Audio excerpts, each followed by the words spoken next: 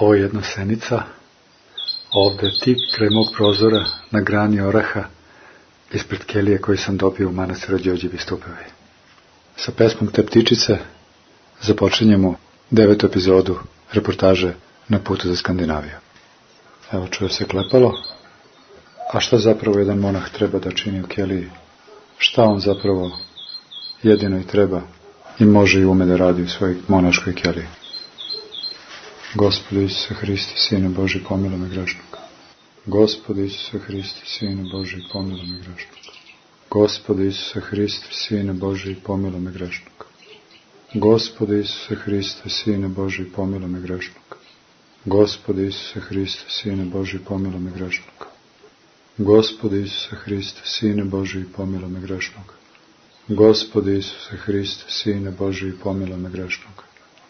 Gospod Isuse Hriste, Sine Boži, pomilo me grešnog. Gospod Isuse Hriste, Sine Boži, pomilo me grešnog. Gospod Isuse Hriste, Sine Boži, pomilo me grešnog.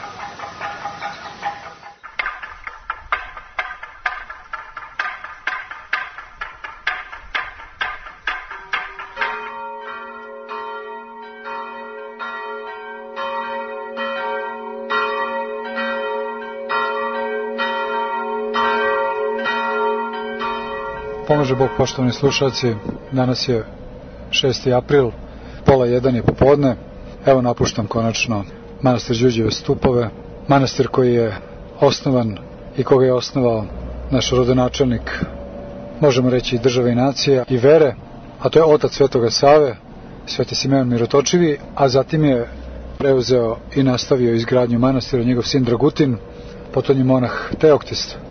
Posle liturgije imali smo predavanje, došlo je jedno stotinjak ljudi, ali uvek je to malo stado, uvek po ovim mestima gde ima po više hiljada Srba i 15, 20, 30.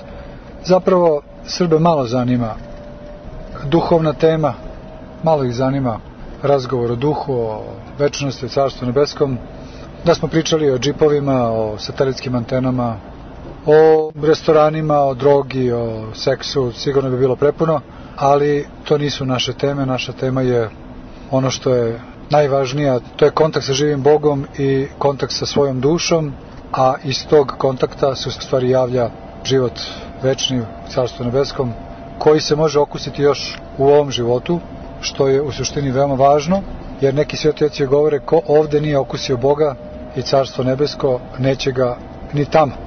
Što znači da su ovo vrlo važne stvari i zanimljivo da je ovde u stvari najduže trajalo druženje sa ovim ljudima ovde u Novom pazaru.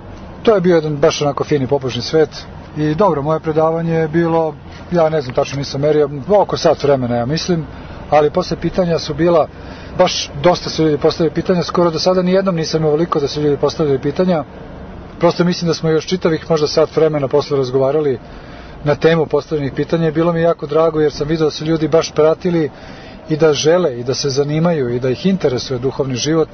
Neki put su tako ljudi poslušaju me, aplaudiraju posle toga i nekako nezainteresovani ili prosto ih ja možda izbombardujem gomilom nekih informacija i tako nekako se to sklopim da oni posle više ne znam šta bi me pitali, ali ovaj put je zaista bilo drugačije i bilo je mnogo drago. I lepo je tako kad se ljudi zanimaju kad postavljaju pitanje i kad vidiš da zaista žele. I onako ja koliko mogu zaista to je bilo jako lepo, tako da na kraju smo ručali i ja jako volim bratiju Đorđevih stupova, to je protosinđel Jeromonah i iguman Gerasim, zatim njegov zamenik Jeromonah Gavrilo, tu je monah David i monah Georgi. Njih četvorice su tu, to je jedno malo bratstvo, ali odabrano, divne duše i mi se baš volimo kao najrođeniji rod. Jako su me lepo primili i jako lepo ugostili i na kraju su me tako lepo i ispratili i pozdravili stvarno moram da kažem da je mnogo lepo bilo ovde u Novom pazaru, u manastiru Đurđevi stupovi.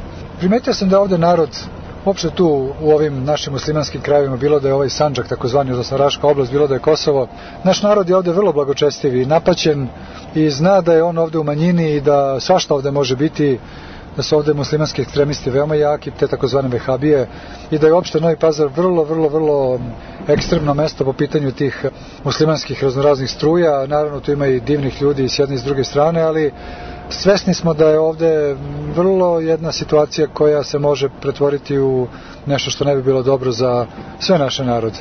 Tako da ovde narod zaista blagočestiv, poštan i dobar, naravno oni koji su pred crkvi, ne mislim da ovi drugi nisu, ali prosto ovi, eto, su nekako svesni zapravo šta je to život i koliko je on jeftin danas i koliko čovek za čas može da izgubi život. Prosto je pakla cigareta skuplja od jednog ljudskog života, a opet duboko svesni koliko je bitno za čoveka da bude u kontaktu sa živim Bogom, sa liturgijom, sa pričašćem i na kraju kreva i sa monasima, jer vidim, njima je drago, oni su onako monaholjubivi, jedan svet ovde i vole da dođu u manastir Đuđeve stupovi, iako naravno tu postoji i crkva u gradu i tako. Tako da mi je bilo jako lepo. Ja ova moja predavanja tamo od Švedske pa na ovamo, praktično ovih zadnjih 3-4 predavanja su sva ista, jer to je tako po narodu, po manjim mestima, prosto ni ne znam šta bi nešto mnogo različito pričao.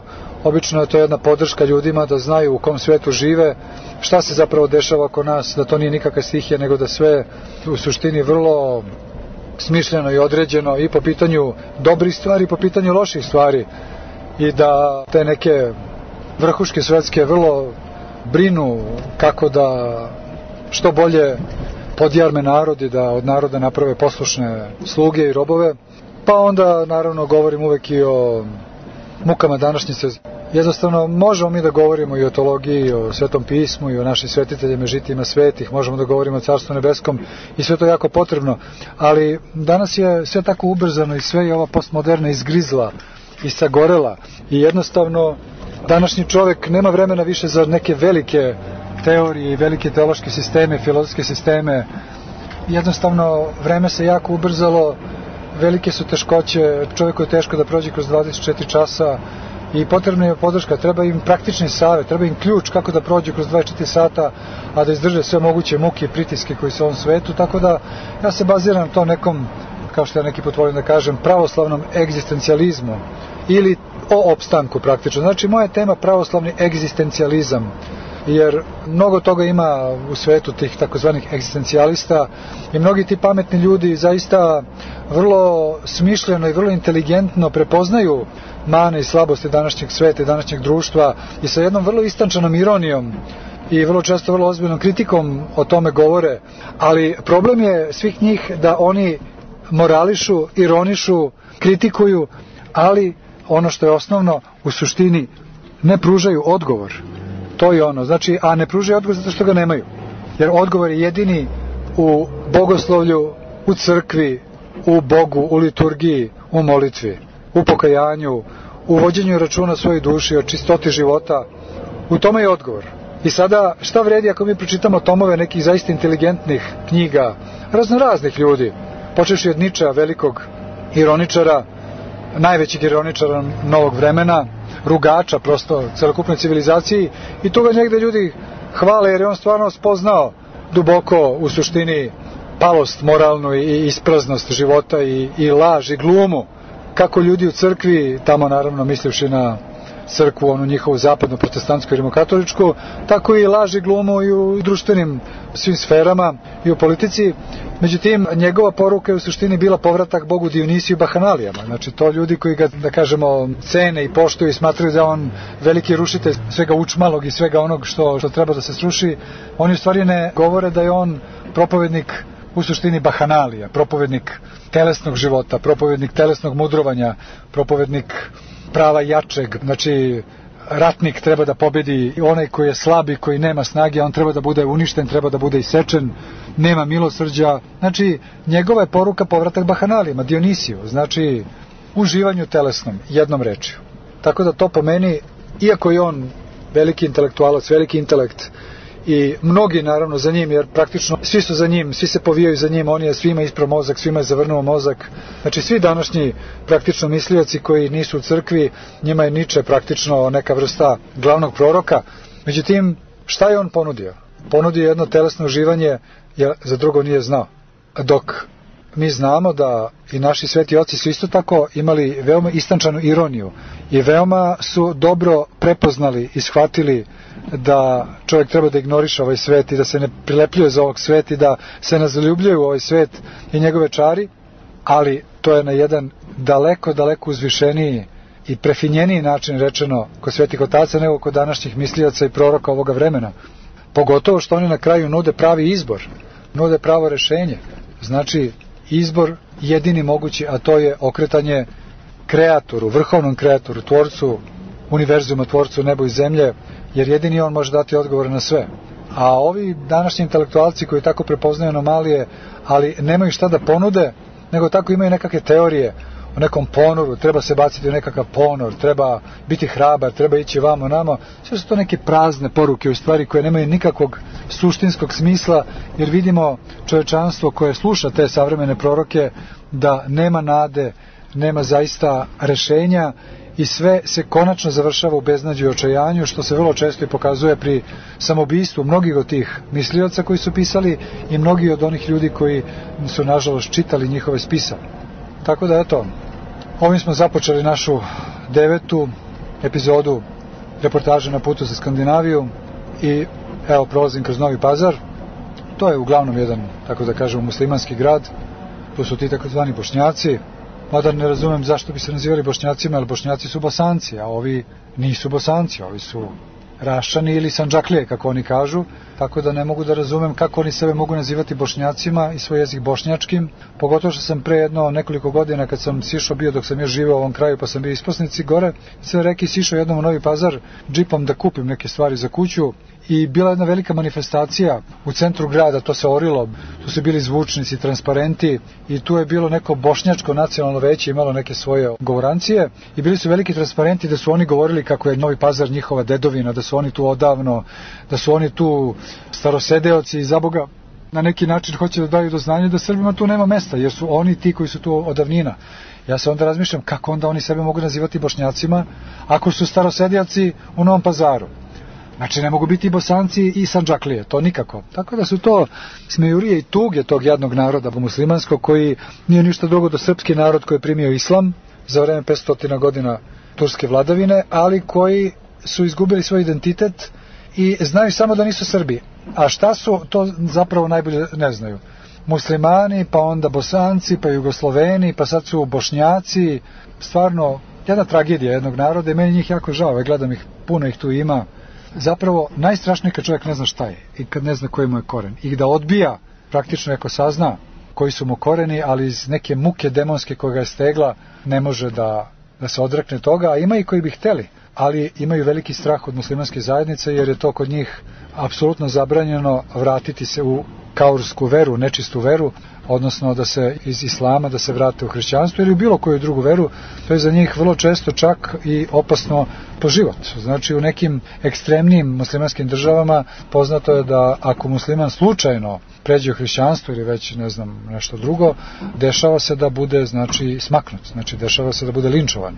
Tako da i ovde je jedna jako čudna klima u Novom pazaru, evo gledam ih, to ranije nije bilo. Sve žene su skoro zabrađene kao dole u Arabiji, mnoge čas nose kompletne feređe, čujem informacije da to u stvari islamska zajednica plaća, znači da te žene koje nose te muslimanske ekstremističke nošnje, da dobijaju određenu količinu novca za to i puno puta sam ovde doživao neprijatnosti ruganje od omladine, jer naravno odrasli se čuvaju, oni to neće javno da pokažu, ali zato omladina koja to čuje u kućama i koja nema kočnica, ona se vrlo često ruga i vrlo često se imao neprijatne doživljaje ovde od muslimanske omladine, tako da sve to pokazuje da to jako, jako teško i da će ovde biti jako teško. Slična situacija sam doživljavao i na Kosovu dok sam tamo bio, slična atmosfera.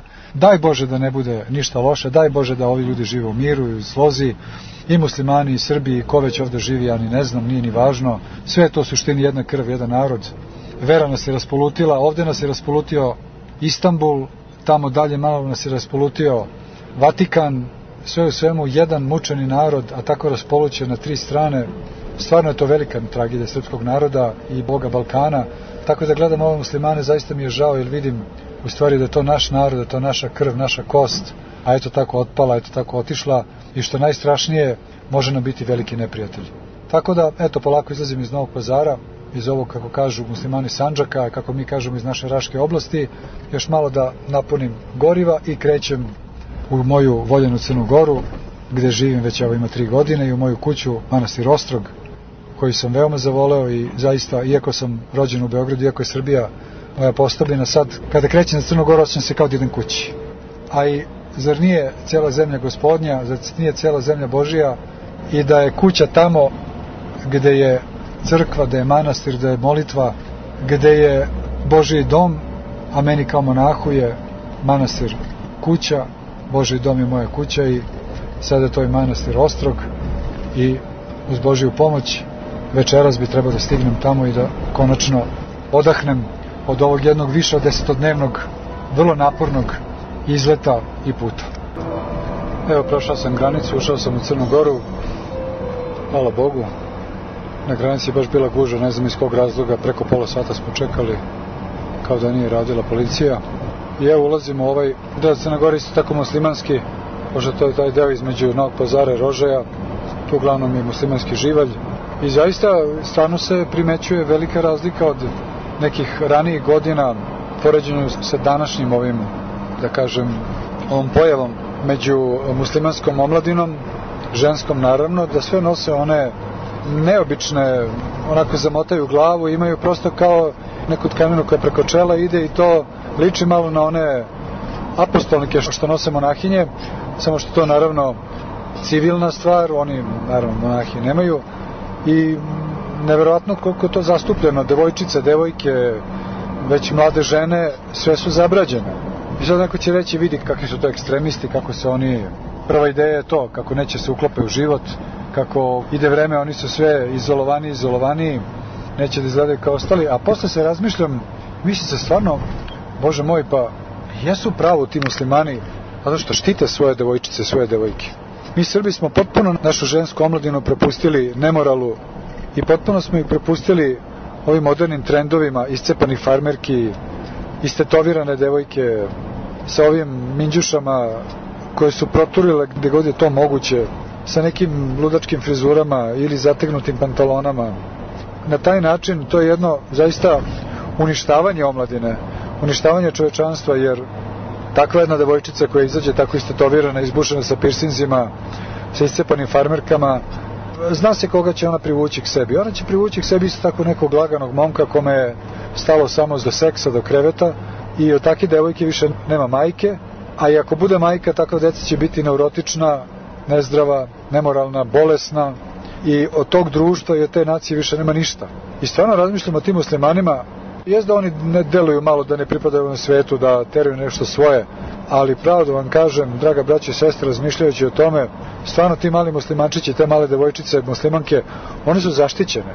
To nije nemoralno, stvarno, to je obraćanje pažnje na neku njihovu tradiciju i stvarno ta mala će jednog dana suda rano za nekog tamo Ahmeta ili Mirzu i nije bitno, izrodit će decu i to će biti koliko toliko zdravo. Sad, na stranu što je to islam i taj ja ne ulazim u to, ali u tim nekim na jednom svetskom nivou gledajući koliko je nemoral otišao, koliko je strašno puno droge, alkohola, kocke, koliko ima seksualnih perverzija, koliko je sada lesbejstvo i homoseksualizam i još mnogo druga ludog iz to LGBT pokreta normalna stvar, zaista skidam kapu i poštujem to što radi muslimani. Oni stvarno čuvaju svoje omladine, našto svoje devojčice, svoje devojke. I one će biti jednog dana zdrave, izrodit će decu i oni će tako osvojiti svet. Mi svi ostali propadamo, to je strašno. I zaista pre neki dan kad sam razgovarao sa Milom Lomparom, gospodinom profesorom sa Teološkog fakulteta u Beogradu, on kaže, kaže, nedavno sam kaže, bio u Nemačkoj, kad god odem vidim koliko mnogo ima Turaka. I ne samo što ih ima, to su stotine Turaka, možda i milion, ko će ga znati koliko ih ima. I više. Ali kaže, zašto nemačko društvo njih ne može da rastori? Zašto ne može da ih razbije? Zašto ne može da ih asimiluje? Zašto su jaki i polako zaista osvajaju nemačku teritoriju. Zašto? Zato što Turci čuvaju svoje devojke, svoje devojčice, čuvaju svoje žene. Ne dozvoljavaju im da se uklapaju to bolesno zapadno društvo, da postaju male prostitutke, male narkomanke, male lezbejke i ti Turci koji čuvaju svoje devojke tako izolovanim, tako zabrađenim, on ne bi rekao da su one nešto posebno nesretne zbog toga. Ne, ne, one žive lepo, žive u svojoj zajednici, svojim muževima, one rađaju zdravu decu i to je jaka nacija i oni napreduju i oni osvajaju, a mi nestajemo. Tako da kad vidiš jednu devojčicu na ulici iscepanu, istetoviranu, znaj da od nje nema ništa, da je ona u stvari inicijator za uništavanje čovečanstva, za uništavanje naroda, za uništavanje nacije. Znači, uništi ženu, uništio si čovečanstvo, uništio si jednu naciju. Sačuvaj ženu, sačuva si naciju. To isto tako radi jevreji, to radi muslimani. Oni vrlo vode računa o svojoj porodici, o svojim devojkama. Kad sam bio u Jerusalimu pre dve, godine, kad sam prolazio kroz novi deo Jerusalima, koji je veliki grad, ti tamo nisi mogao da vidiš devojku raspuštenu, istetoviranu, iscepanim pantalonama, u farmerkama, uopšte, uopšte u pantalonama ne možeš da vidiš devojku, ženu. To je vrlo tradicionalno i oni su svi sasvim zadovoljni, guraju kolica svojom decom, imaju svoje muževe, imaju svoje brakove, rade pošteno, rade vredno i polako šire i jačaju svoju naciju. A mi, hrišćani, pogotovo mi pravoslavni hrišćani, mi se raspadosmo u pornografiji, u grehu, u homoseksualizmu, u nemoralu. Stvarno, jeste da mi možda nosimo tu istinu, možda da mi nosimo tu čistotu vere, ali Boga mi niti to koristimo, niti to upražnjavamo i ne samo to, nego smo potpuno prepustili naciju propasti, pohrlili smo zapadnom Evropom, a zapadna Evropa i Amerika to je najdekadentnije i najpropalije društvo koje ide ka propasti. To je stvar potpuno jasna. Jednom kada je davno Ajatola Homeini, koji je bio i politički i duhovni vođa iranske nacije, persijske nacije iranskih muslimana, on je rekao, vidjet ćete vi jednoga dana, islam će pobediti svet. I zaista, ako zapadno, pa i pravoslavno hrišćanstvo nastavi ovim putem, izumrćemo i te vere, pogotovo islam koji je jedna judeo-hrišćanska sekta, oni će ovladati svetom. Pa kako bude?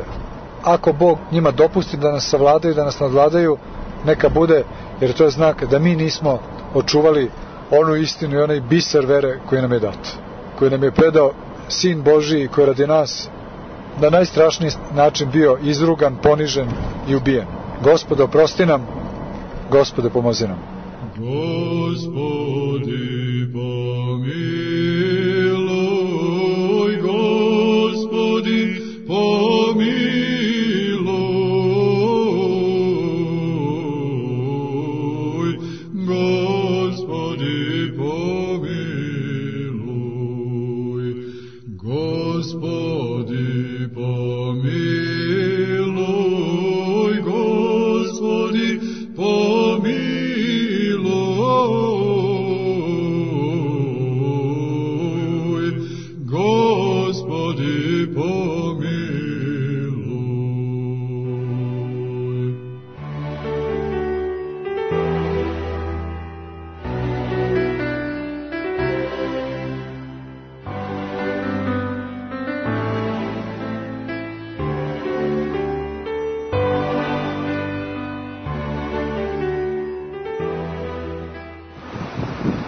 Nalazimo se na reci Tari, na obali reke Tare.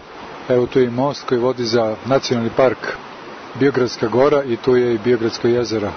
Ovde je zaista predivna Tara, ima neku tirkiznu, svetlu, nebesko-plavu boju.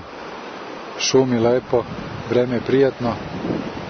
I koliko je uvek sve ono što je prirodno, sve ono što je Božja tvorevina lepše od svake ljudske tvorevine.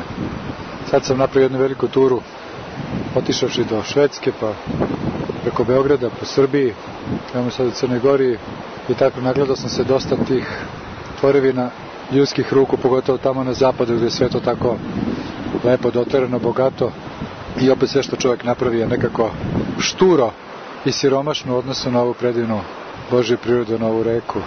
Koliko je samo ovaj deo, ova mala peščana obala na ovoj reci Tari, tirkizno plavoj, koliko je lepša od svih onih spomenika, katedrala i nekakvih arhitektonskih dostignuća tamo po Švedskoj što sam video. Ne može se ni porediti ova lepota i ova čistota. Sve je to ljudsko nečisto zaprljano strastima, zaprljano pohatama, a kako je ova tara nežna i čista, divlja i pitama isto vreme. Sva ova priroda, sve to kao jedan veliki hram koji slavi Boga. A oni nerukotvoreni hramovi jeste, često su predivni, veličanstveni, ali nekako čovjek svojim grehom ulazeći unutra i njih onečisti. A ova priroda, ova lepota ovde, to je hram što ništa ne može onečistiti. Celokupna priroda slavi Boga kako je predivno stvorio. I ko zna koliko hiljada godina je ova reka Tara stara. I ona to i dalje žubori ne obraćajući pažnju na ratove i primirja, sve one istorijske događaje, revolucije, političke prevrate, umetničke događaje, futbolske utakmice, olimpijade, ništa to nju ne zanima. Ona teče i teći će, a sve ono što ljudsko prolazi i propada.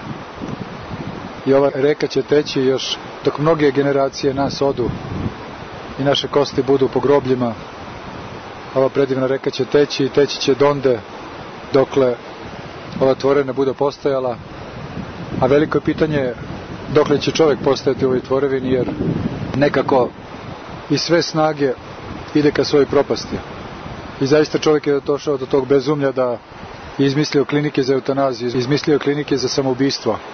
Da čovjek ne bi morao da se bakće kako da se ubije, on lepo ode, uplati 2-3 hiljade evra, ima tri dana smeštaj, dobije smrtonosni koktel i kremaciju. To sam prisnog vremena otkrio i pročitao na internetu što se dešava u Švajcarskoj. Znači čovjek je jedno autodestruktivno biće, čovjek je jedno biće koji ide ka svojoj propasti i smišlja sve moguće tehnološke proizvode i tehnološke dostignuća kako li što bolje mogu da ubije drugog čoveka, da ga uništi, da ga dezintegriše. A ova priroda se obnavlja i obnavlja. Čovjek je zaista jedno autogenocidno biće, ali Boga nije stvorio takvog. Boga je stvorio da kreira, da stvara život i da produžuje život. I kao što rekao Gospod, rađajte se množite se i naselite zemlju. Mi smo to uradili, ali onda smo krenuli nekim suprotnim putem, pa sada to što smo se namnožili smeta nam i hoćemo da se istrebimo. Tako da smo u stvari potpuno autogenocidno, samo uništavajući biće. Ova reka Tara teče i pokazuje kako priroda postoji i postojaće dokle tvorac bude držao u ovom sastavu, u ovoj snazi i ovoj sili koju posjeduje. A čovjek, iako je stvoren da uživa u svemu tome i da bude deo toga, primivši duha zla, duha mržnje, duha pohlepe i pohote, sam sebe guši i davi i besi. I zaista je fenomen posmatrati i promatrati šta će biti sa ljudskim bićem na ovoj planeti. Već je osvežila 4 sata popodne, prijetno ovde kraj reke, ali već sveže, vlaga, već malo golica po kolenima i zglobovima i polako krećem natrag. Čeka me još dosta puta do Podgorice i zatim do Ostroga da konačno završim i ovaj put koji je bio prilično naporan, naporan duhovno na prvom mestu, jer monah Van Manastir rekao riba na suvom, i svi ovi razgovori sa ljudima, sve ovo predavanja, sve ovo otvaranje sebe je negdje iscrpljujuće, čovjek se dosta isprazni i onda mora da beži natrag u svoj manastir, svoju keliju da bi se ponovo napunio, da bi imao šta da pruži ljudima.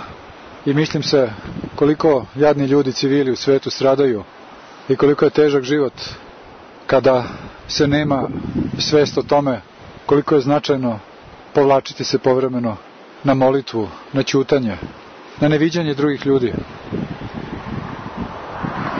Naravno, to za ljude u svetu ne može biti onako kao za monahi, ali neprestana komunikacija, neprestano komešanje, neprestana jurnjeva užasno iscrpljuje i neophodno su potrebni momenti kada će čovek da se povuče na molitvu i da jedan deo svoga dana preda tišini, preda miru, kada će prekinuti sa jurnjavom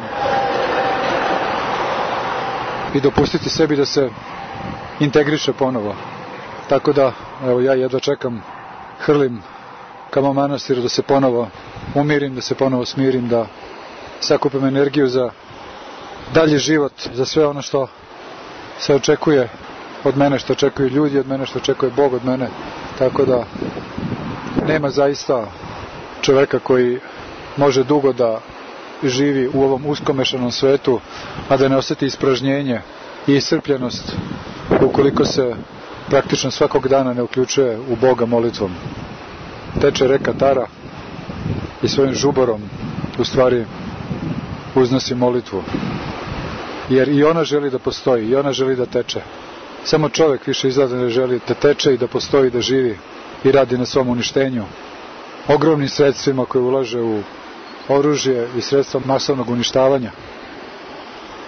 Neka je gospod molitvama ove reke Tare, ako već ne našim molitvama pomogao da barem oni koji imaju svesti o tome koliko je u suštini lepo živeti kada se živi sa Bogom, da nam da snage da uvek imamo jedan deo dana koji ćemo posvećivati tišini.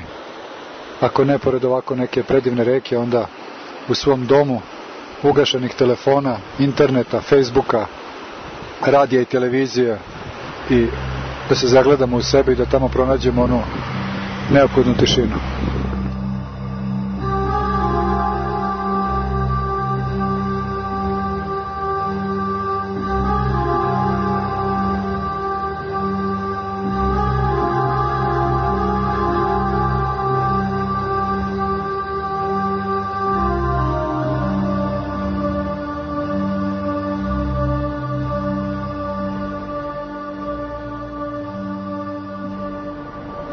Sada, prošao sam i ostavio iza sebe reku Taru i njen kanjon i evo me sada u veličanstvenom i zastrašujućem kanjonu Morače.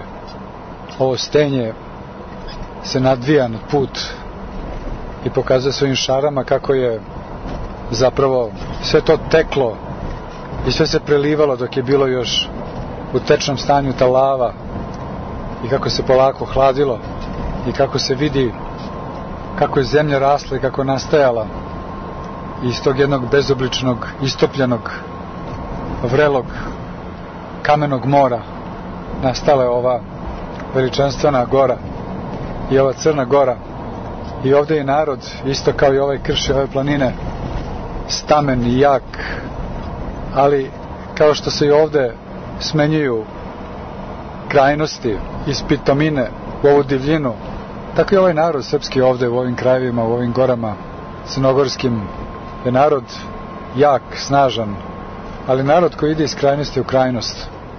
Vidimo kako iz jedne krajnosti koja je za nas bila Srbijance uvek jedna silna Crna Gora, jedna junačka Crna Gora, jedno uporište, jedan vrh srpstva i kako se iz ovih pitomih predela odjednom ulazi sa iznenađenjem i zaprepašćenjem u ovaj veličanstveni zastrašujući kanjon reke Morače koja dole huči zelena kao ovo sveže zelenilo koje je izbilo ovog ranog proleća pokazuje nam kako je ovo zemlja krajnjih krajnosti zemlja koja ide iz velikih vrlina u velike poroke i opet iz poroka u vrline zemlja i narod koji su jedinstveni u svetu svojom snažnom istorijom i svojom snažnom ličnošću ne ostavlja Crna Gora svoju veru ne ostavljaju svoju crku ne ostavljaju svoje svetitelje koji su kosti svoje svete ostavljali ovde po ovim tvojim vrletima po tvojim manastirima. Ne ostavlja Crna Gora svetu Rusiju koja te uvek štitila radi nekih prolaznih vladara zapadnog sveta ove nove američko-evropske imperije. Ne ostavljaj Crna Goro ono što te učinilo stamenom i neosvojivom toliko vekova. Ako sada to ostaviš, ostavit ćeš svoga Boga koji je u svetim kostima, u svetim telima moštiju tvojih svetitelja svuda po tvojoj zemlji, svuda po svim tvojim krajevima. Ako to ostaviš Crna Goro, zaista ćeš pocrneti i biti najcrnja gora i najcrna zemlja od svih, jer kao što u Svetom pismu piše, onaj ko mnogo zna, mnogo će ga se od njega i tražiti i mnogo će kažnjen biti. A onaj koji malo zna, malo će i kažnjen biti. A ti, Crna Goro, imaš svoje velikane koji su mnogo znali i koji su mnogo amaneta tebi ostavili da to sačuvaš Crna Goro. Ako sa tog puta skreneš, postaćeš najcrnja zemlja na svetu. Crna goro, sveta goro.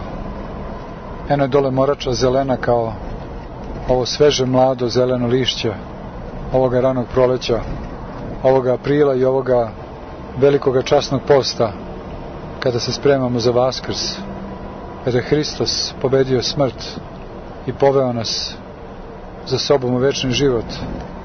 Evo je dole morača zelena kao ove gore, i teče morača i pamti junačke dane ovoga naroda, junačke i velike pobede ovoga naroda, a teče morača zelena kao ove gore. Napala je ovaj put na Crnogoru lažna raskoš Amerike i Evrope, lažnih imperija, lažnih uteha, lažnih ljubavi. Ah, da te Crna napao neko ognjem i mačem, zdravija bi bila, ali su te napale lažne ljubavi i lažne utehe i pohota ovoga sveta i zagolicale su te Crna Goro, nekadašnja Sveta Goro, majko naša srpska Crna Goro, a sada te golicaju pohote i slasti ovoga sveta, hrabra i stamena nepobediva nekadašnja Crna Goro. Ne daj se moračo, ne poteci u onom pravcu u kome nikad nisi tekla i ti Crna Goro. Ne idi tamo gde te ne žele dobro.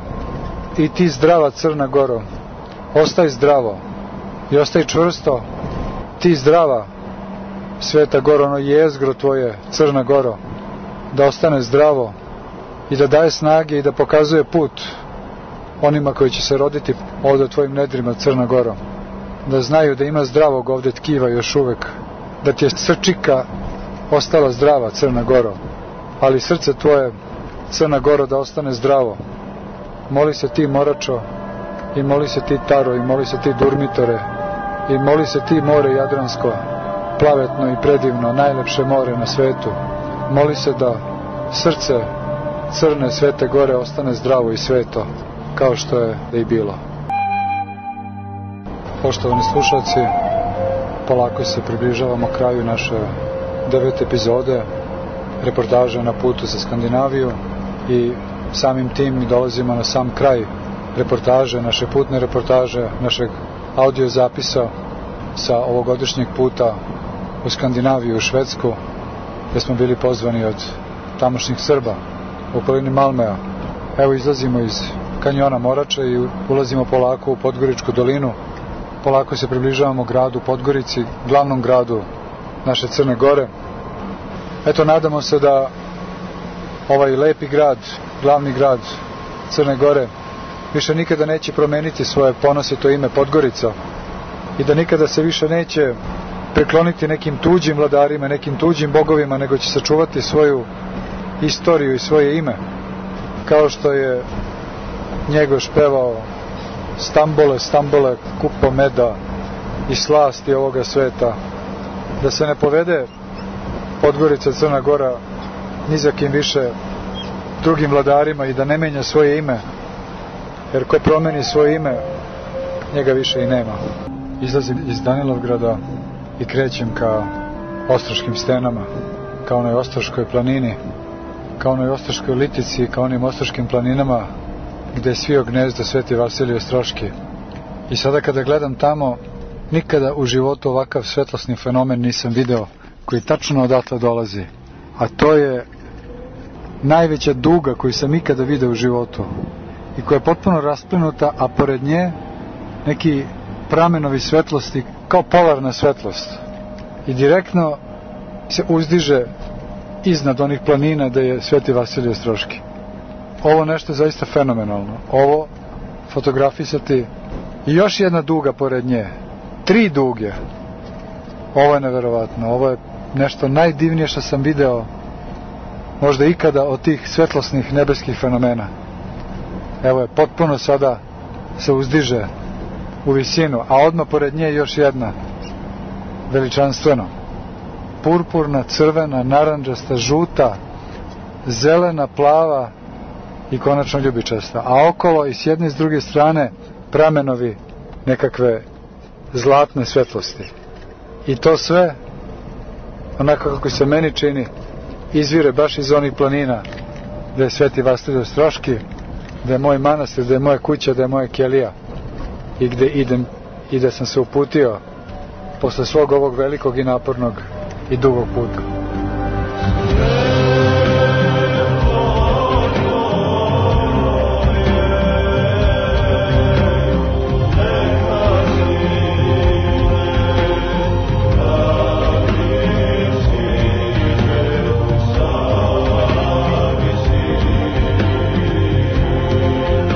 Su moje ostroške stene, evo je moja ostroška litica i ene ga ono belo orlovsko gnezdo gde ga je duhovni orao Vasilij Ostroški svio za sebe. Stigao sam kući.